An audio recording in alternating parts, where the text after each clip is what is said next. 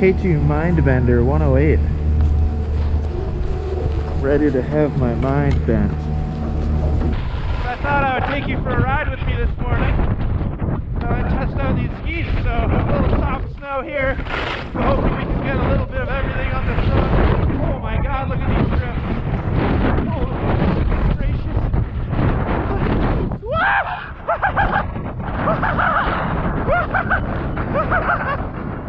Oh, okay. Hi skiers, I'm Jeff from skiessentials.com. We're here today to take a look at these 2020 K2 Mindbender 108 Ti skis.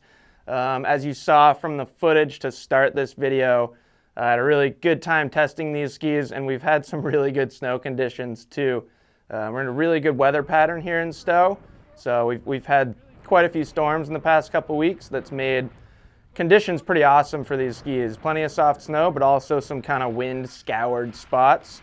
Um, and I think for a kind of free ride all mountain ski like this at 108 underfoot, uh, pretty perfect testing conditions that we've had. Um, so this is pretty exciting stuff. This is a brand new collection for K2 for 2020, um, the Mindbender series, and it's a pretty big line. It, it, it consists of 12 different skis total, um, six for men, six for women's. Um, and there's a combination of constructions that rely on metal um, as well as constructions that rely more on carbon fiber, um, which we'll talk more about throughout the next, you know, 12 months, the next year or so. Um, but we thought this was a really fun one to kick it off with the 108 Ti, um, the widest ski in the line with metal. Um, so pretty cool new ski.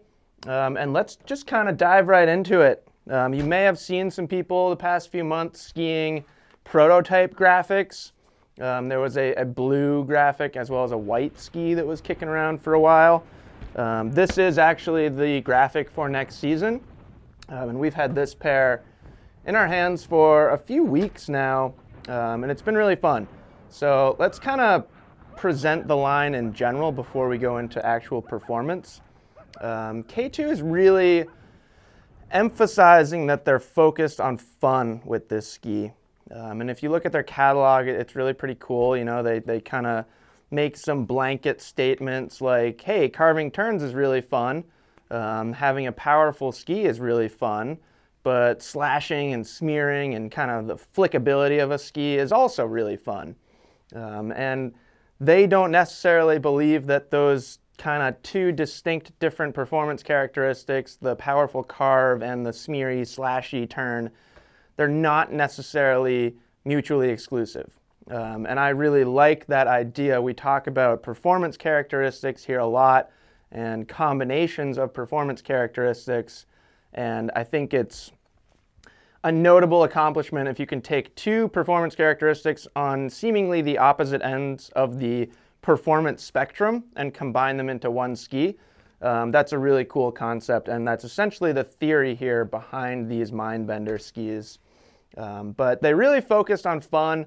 Um, these were driven more from a skier's perspective and athlete demands than like an engineer saying, no, we need to do it this way because it's going to create this feel and you're going to like it because I say you're going to like it.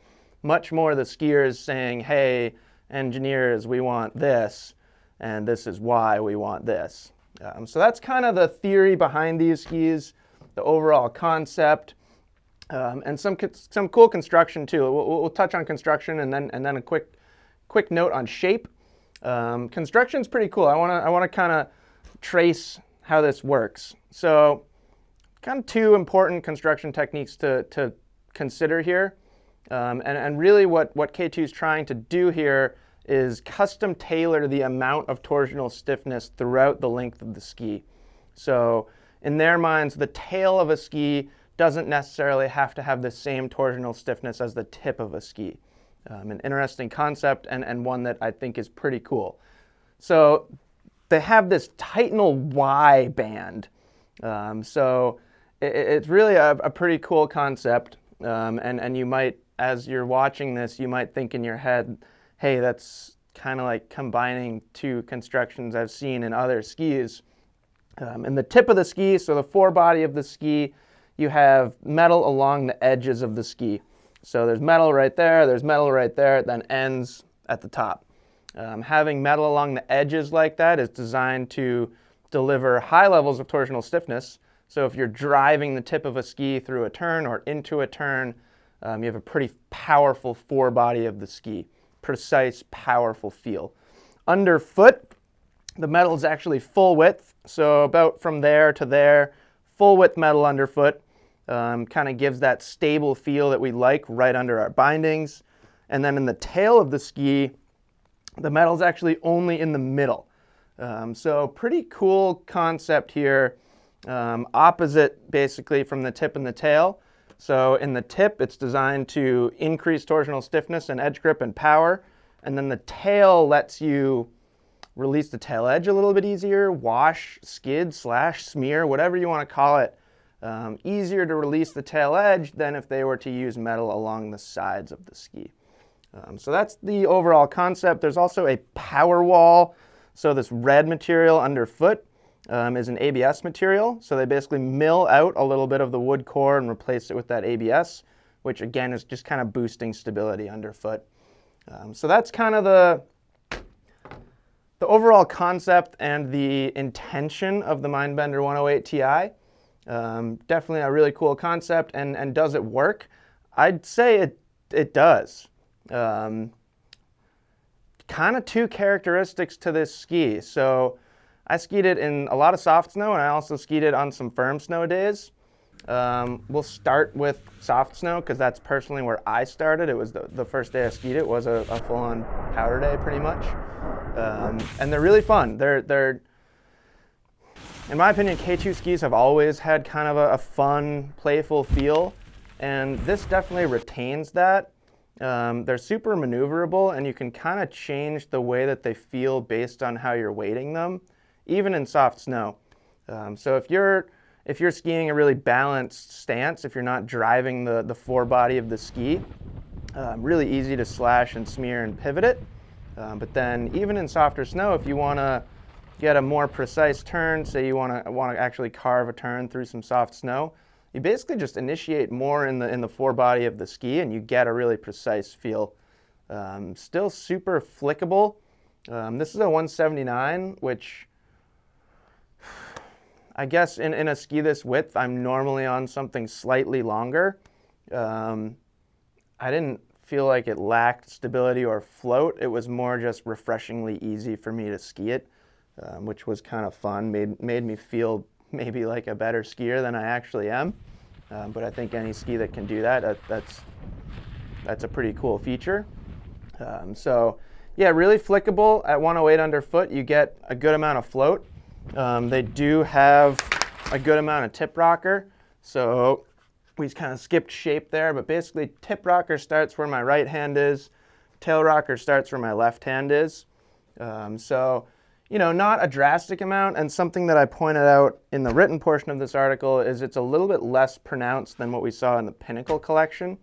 Um, there's camber underfoot. It's not super high rise camber, but it's there. So basically, the, the width, um, this kind of smooth early taper and the blunt tip shape, and the rocker, all those things combine to, uh, to give it quite a lot of float.